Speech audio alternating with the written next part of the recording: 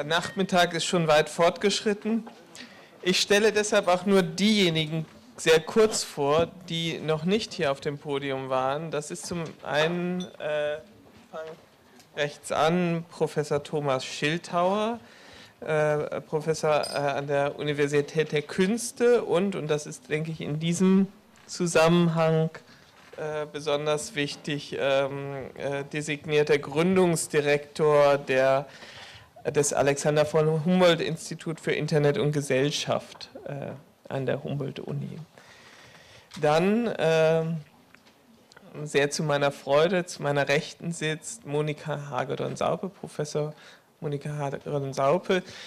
Äh, sie ist äh, stellvertretende Leiterin des Instituts für Museumsforschung, aber ich finde, am besten beschrieben wird sie immer so, wie ich sie äh, gerne nenne, als ähm, Handlungsreisende in Sachen Kultur. Ich kenne, glaube ich, niemanden, der in so vielen Gremien, an so vielen Stellen so beharrlich für die Kultur streitet wie Frau Hagedorn-Saupe. Äh, dann äh, zu meiner Linken Anja Horstmann, Historikerin aus Bielefeld und, wenn ich das äh, als kleine persönliche Anmerkung äh, noch äh, anfügen kann, eben, ebenso wie ich aus äh, Minden in Westfalen. Ähm, Wem gehört das kulturelle Erbe? Das ist irgendwie eine sehr große Frage. Wir haben viel darüber gehör gehört, wie sich äh, verschiedene Akteure in dieser digitalen Welt um das äh, kulturelle Erbe kümmern. Ich äh, fange mal an mit ein, äh, damit, dass ich die hier auf dem Podium Sitzenden einfach mit einer kleinen Eingangsfrage um, um ein Statement bitte und denke, dass wir dann dadurch in ein, eine Diskussion auch mit dem, Podium, äh, mit dem Publikum kommen. Äh, Max Senges, äh, gehört das digitale Erbe Google? Das glaube ich nicht. Äh, wir sind ja ein Plattform-Provider und insofern ähm, sehen wir uns eher in der Rolle, ein Werkzeug zur Verfügung zu stellen, um es zugänglich zu machen.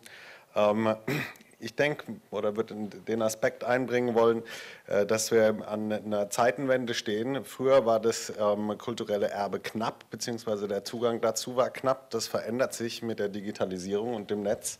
Ähm, diese Knappheit besteht eigentlich nicht mehr. Wenn es ein Bibliotheksexemplar gibt, dann kann das genau eine Person ausleihen. Ähm, auf Europäer, Google Books oder allen vergleichbaren Plattformen können es sich alle Leute gleichzeitig angucken. Ähm, so viel zur Zukunft, ähm, wenn es um die ähm, bestehenden Güter geht und darum, wie da der Zugang zu organisieren ist etc., finde ich sehr interessant äh, die Arbeiten von Elnor Öström, ähm, einer Nobelpre Ökonomie-Nobelpreisträgerin, die ähm, als Common Pool Resource sich Gedanken darüber gemacht hat, sehr viel geforscht hat, ähm, wie in wüstenartigen Umgebungen Wasserressourcen damit umgegangen wird oder mit Fischereigründen etc. Also unter Beteiligung aller der äh, relevanten Akteure das auszuhandeln und entsprechende Zugangsmechanismen zu schaffen. Herr Schildhauer, ich gehe gleich weiter zu Ihnen. Was äh, denken Sie denn, was bedeutet Internet und was bedeutet äh, die digitale Realität dafür, wie heute kulturelles Erbe entsteht und was hat sich dadurch geändert? Na, besonders bemerkenswert finde ich, dass wir durch die eben der auch schon nochmal angedeuteten Plattformen die Möglichkeit haben, heute Kulturgüter ganz anders äh, zu erstellen. Also vieles wird viel kollaborativer heute schon äh, generiert. Ähm, wir erleben halt beispielsweise von der Seite jetzt der Universität der Künste sehr eng in Zusammenarbeit mit unseren Musikern, ähm, dass hier einfach auch Kulturgut im musikalischen Bereich ähm, heute viel schneller einer Allgemeinheit zur Verfügung gestellt wird, viel schneller auch kooperativ und kollaborativ erarbeitet wird. Und damit entsteht sozusagen von vornherein eine andere Form der, der Generierung von Kulturgut und es entsteht sofort zeitgleich fast ähm, der Zugriff, den der Max eben auch beschrieben hat, ähm, auf dieses Kulturgut. Und das ist einfach ein Paradigmenwechsel, mit dem wir derzeit auch in der Forschung versuchen umzugehen, indem wir halt all die äh, Faktoren, die da eine Rolle spielen, natürlich auch die Frage, wem gehört das dann, ähm, was wir hier noch weiter diskutiert werden, als ein wesentliches ähm, großes Fragezeichen, mit dem wir uns auseinandersetzen. Vielen Dank, Frau Hagedorn-Saupe. Wie sieht das aus? Gehört nicht das kulturelle Erbe den Institutionen, die das so lange bewahrt haben, das so lange geschützt haben? Und ist es nicht irgendwie ungerecht, wenn jetzt plötzlich ganz neue kommen und damit ganz neue Sachen probieren und das in neue äh, Zusammenhänge stellen? Wie positionieren sich denn die traditionellen Institutionen in diesem Prozess? Naja, das kulturelle Erbe gehört uns allen und wirklich uns allen und nicht nur den Kulturerbeeinrichtungen. Aber um den Namen der Ehre zu tun, Kulturerbeeinrichtungen in dem Fall, also unsere Aufgabe ist es, die Dinge zu bewahren und äh, zu erhalten, sodass sie auch nachfolgenden Generationen noch zugänglich sind. Und das stellt die Kultureinrichtungen in ziemlich große Herausforderungen.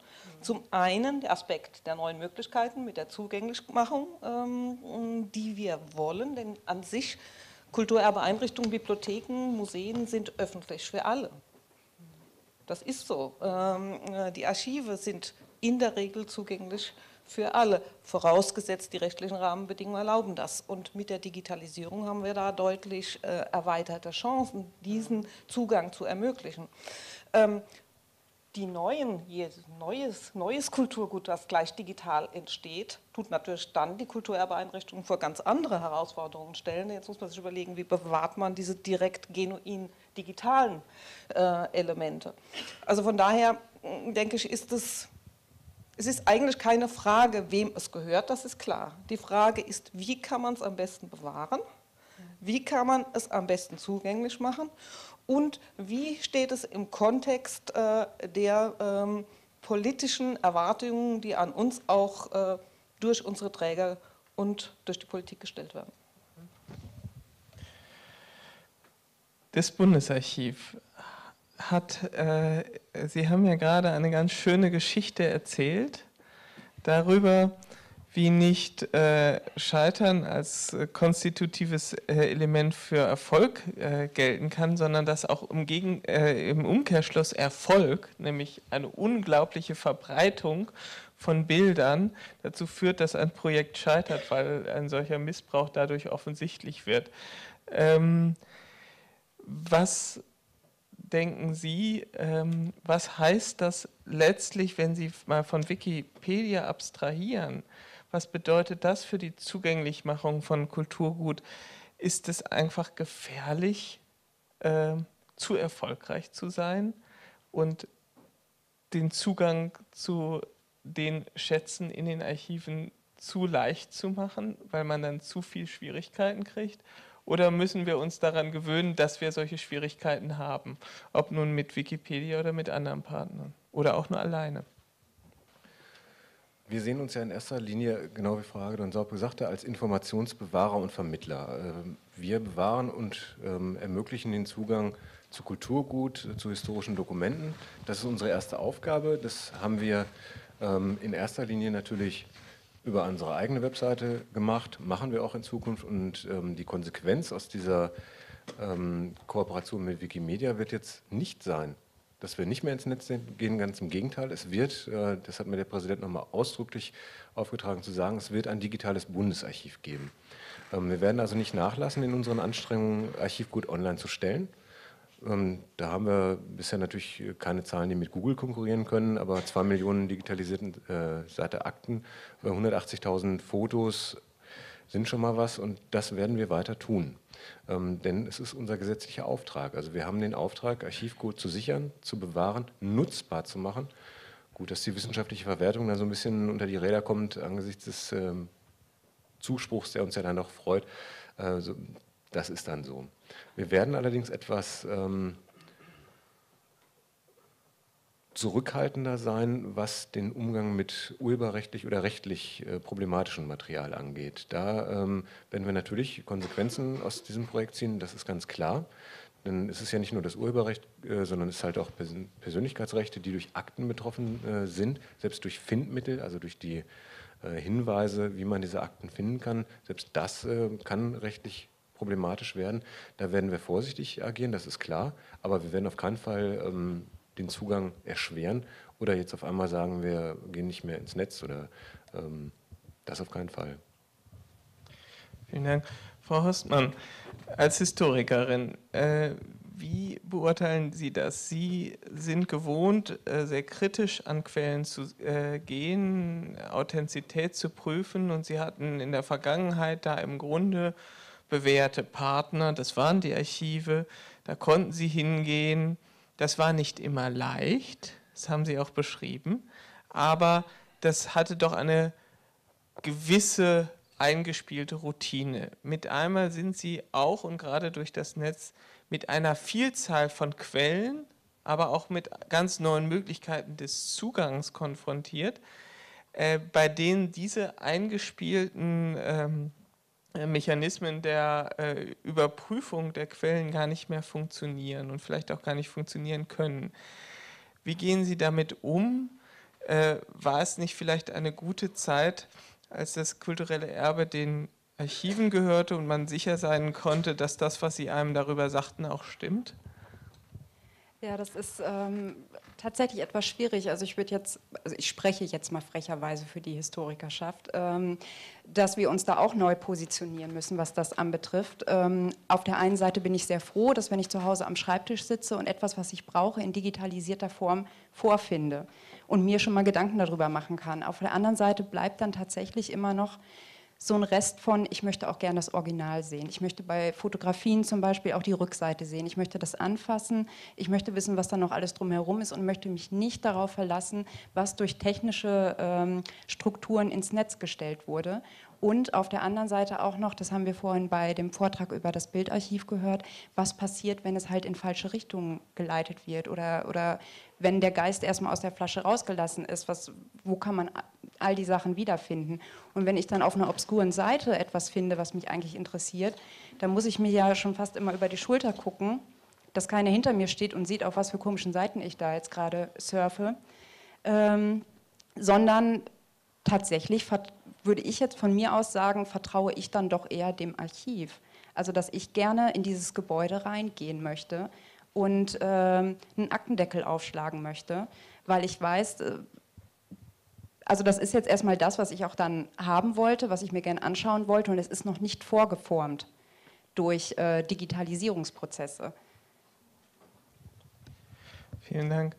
Herr Becker, an Sie die Frage, was müsste passieren, oder was glauben Sie, was müsste gemacht werden, damit der Zugang zum kulturellen Erbe, zu dem, was an kulturellem Erbe vorhanden ist, durch das Netz auch in Zukunft oder in Zukunft besser gesichert und besser möglich ist?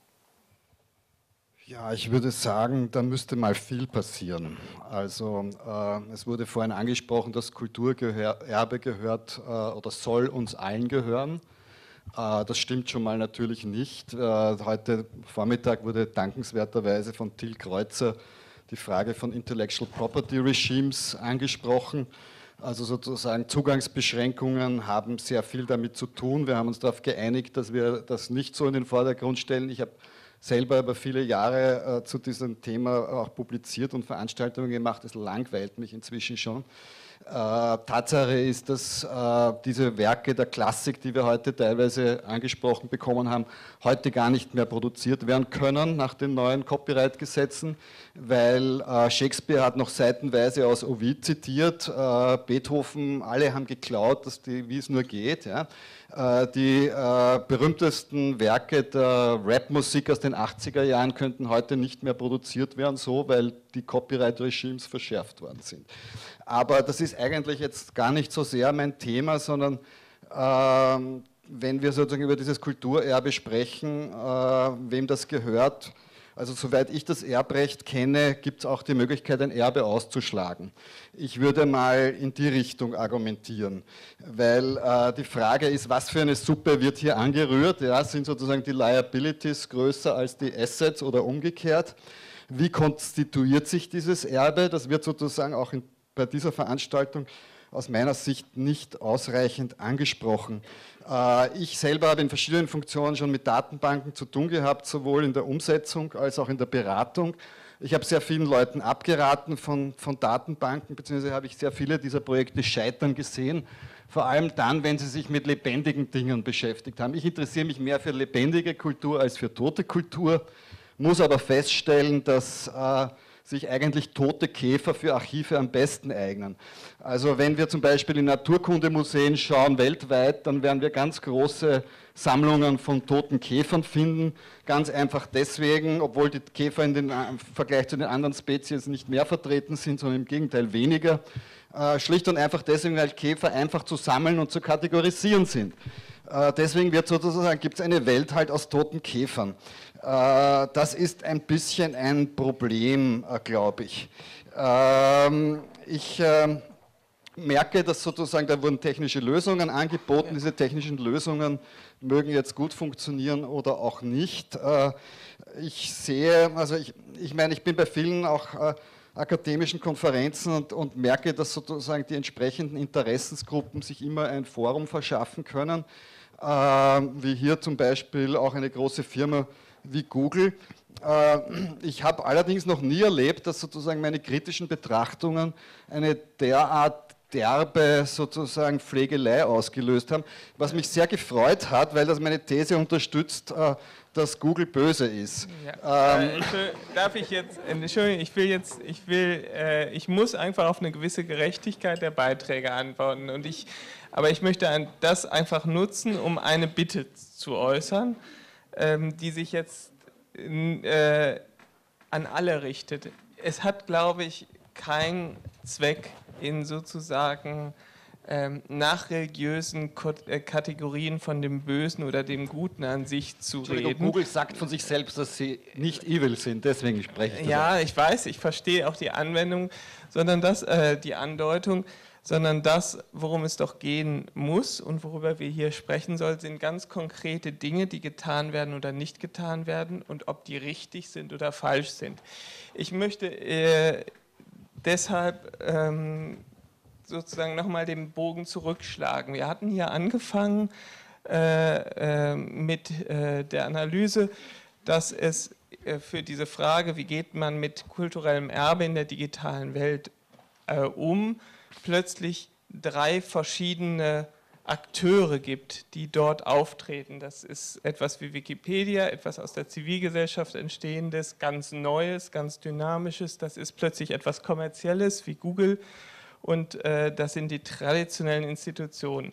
Wir haben eben von Frau Horstmann gehört, dass äh, sie dann doch ganz gern nochmal in den Archiv geht und guckt, ob das wirklich zwischen den Aktendeckeln ist.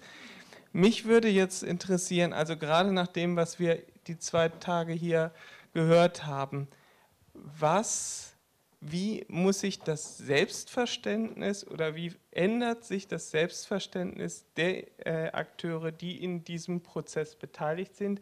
Wie muss es sich ändern? Wie hat es sich geändert und wie wird es sich ändern? Ich könnte das gleich Frau Hagedorn-Saupe fragen, auch Frau Horstmann fragen und ich würde das vielleicht als so einen Vorschlag für ähm, Fragen auch ans äh, Publikum dann geben.